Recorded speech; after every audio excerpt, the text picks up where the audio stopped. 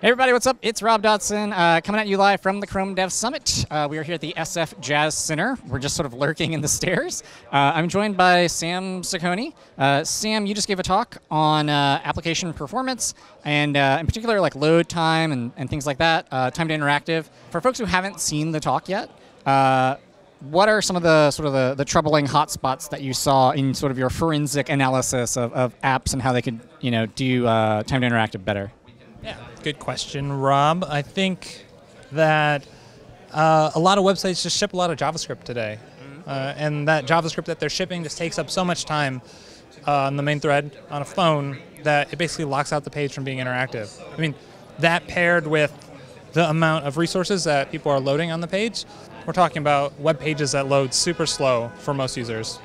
Now, I know one of the things that people have been kind of raving about potentially is like H2 push. Like H2 push is going to like save the world and, things like that. And I know you looked into that as well.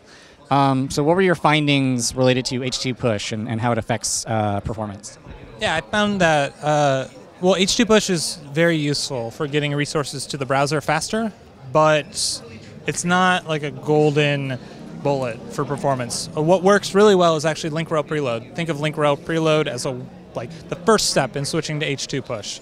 Link rel preload lets you download resources faster than they're discovered. So like with Polymer or HTML imports, it lets you put the the dependent resources way up in the discovery tree so that the browser shoots off those requests so that when they're finally discovered, uh, it's already there in the browser. So it's great. Now, uh, for someone who maybe doesn't know much about preload yeah, is there like a resource, some place where you know where they can go to learn more about that? Yeah, uh, so if you just type that into Google, the first three results are all excellent. So there's a W3 uh, spec article, and then there's a few blog posts, uh, one on Smashing Mag, that are super great and explain all the details and how you can get a big win out of them. All right, right on. Uh, Sam, thank you so much for, for being with us today. Uh, if you haven't done so yet, definitely catch Sam's talk on the YouTube channel. Be sure to subscribe to the Chrome Developers YouTube channel. We got a lot more content coming at you. And uh, don't forget, we got an entire second day of the Chrome Developers Summit. So definitely check out the live stream tomorrow as well. Uh, again, I'm Rob Dodson coming at you from beautiful San Francisco. Stay with us.